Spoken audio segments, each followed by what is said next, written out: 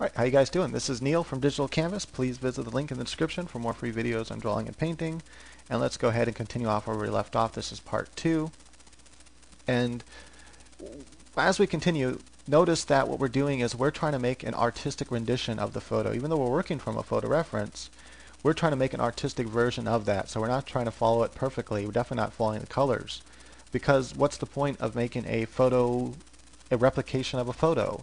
There are better photo replicators out there. They're called photocopiers, um, you know, and we can just make a copy of the digital thing and print it out, and it'll be much better than you can do. So I just don't understand the point of trying to reproduce a photo perfectly. You know, make an artistic rendition of it. Doesn't make any sense to do otherwise. Right. So next thing we need to do as we're building up these um, parts, notice as we build the parts up, it starts looking more and more complex. And so like, ah, oh, that's how they get that cool look of the lips. And, and that's how you do it. You got to build up with parts and parts and parts, and eventually you get the end result.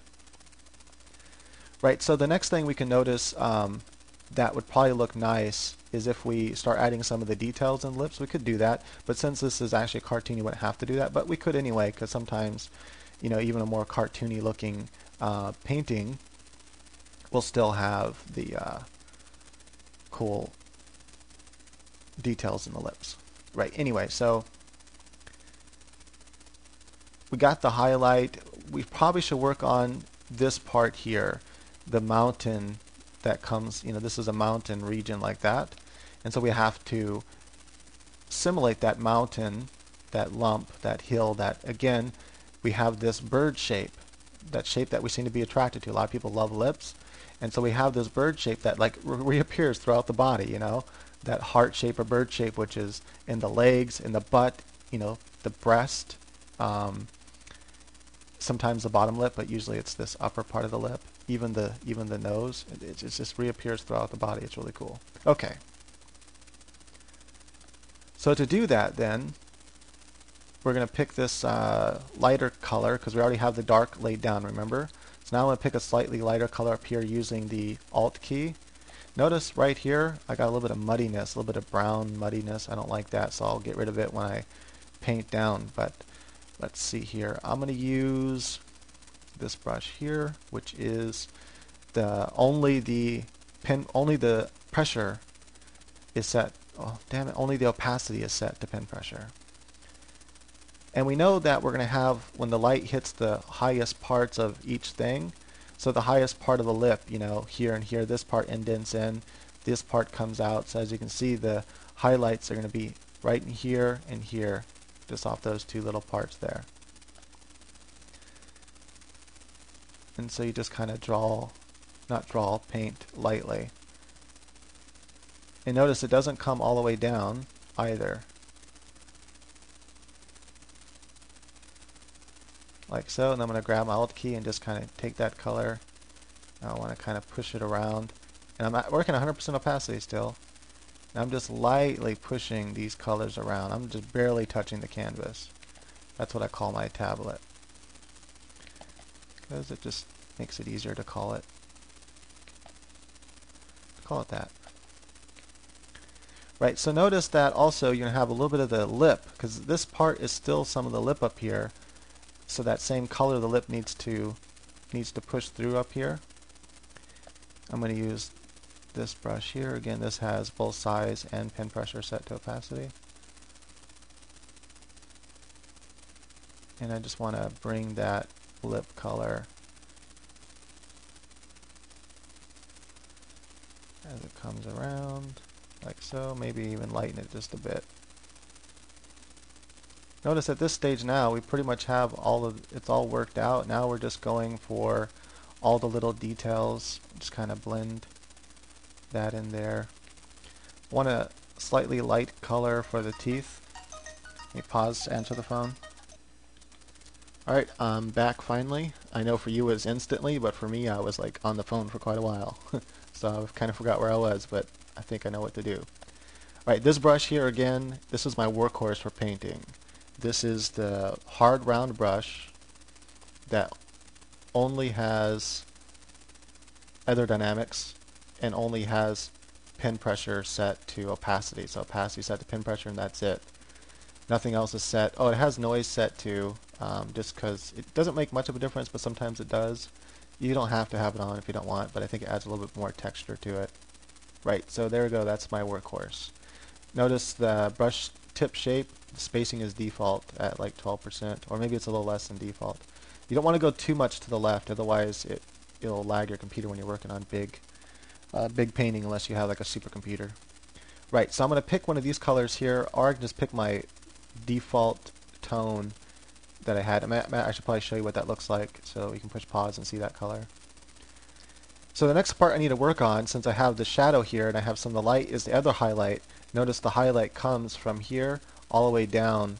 You have like this cheek shape here that comes down. So just remember you always have that kind of horseshoe U shape where the, all the light hits in here. And so I need to just bring that light down to like that.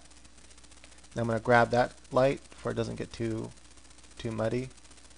I'm just lightly, I mean I'm just lightly doing this, ever so lightly. Take some of that pink color and just kind of rub it right there. Not rub it, but you know what I mean. Alright, I'm going to reduce my opacity. Sometimes it's necessary to do this. And I'm just going to kind of push up right there and just kind of push down. I want this, okay, so I need this to really kind of just subtle, something like that. So now we get, now we can start to see the, you know, the shape of the lip there. Oops, I didn't mean to do that. Like that, so that should work. Remember, we're not trying to reproduce the photo. We're just trying to get something that looks cool based on the photo. I'm going to add just a little light right in here. Not much, just a bit. I'm going to go to my drawing layer now, and I'm going to erase all that because I don't need it. And what I'm going to do, just because part of the nose is kind of part of the lips, is I want to add a little bit of that dark shadow that comes underneath the nose and it kind of comes down into this lip right here.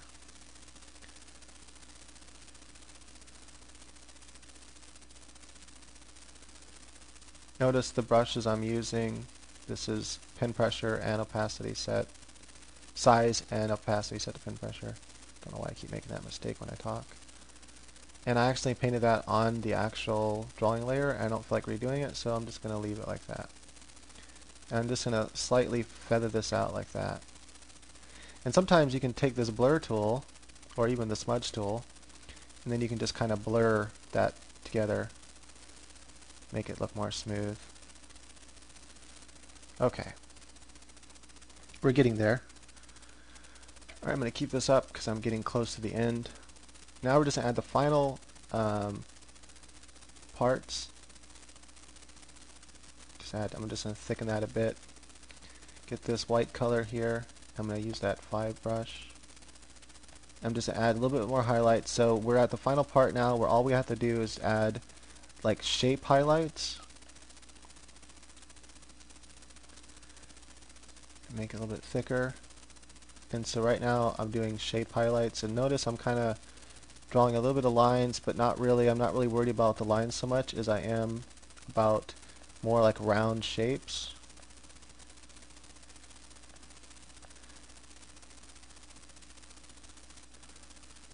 like so. And it looks like I have to come back with another part maybe, which is fine because actually I wanted to um, kind of add a little bit of reflected light right there.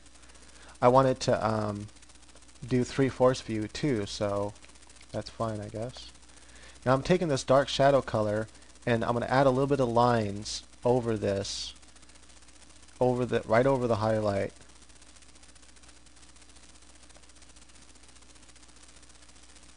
And this is how we're going to get that ultimate look. I'm just drawing a few lines too here and there. Um, I could probably use this color to do the lines first actually.